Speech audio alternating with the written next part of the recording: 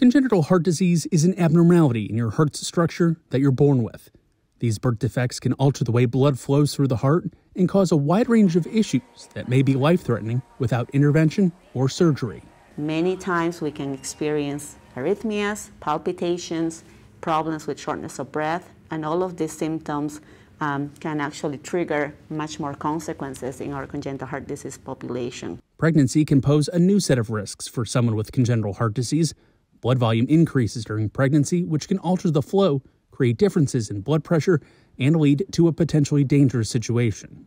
Understanding that pregnancy can potentially lead to some volume overload, maybe some rhythm problems. Dr. Bravo recommends preconception counseling for those with diagnosed congenital heart disease. They're going to need somebody that can look after them in all the aspects involving exercise stress testing, echocardiography, advanced imaging, uh, specialized interventions, and also surgery. For the Mayo Clinic News Network, I'm Alex Osiadacz.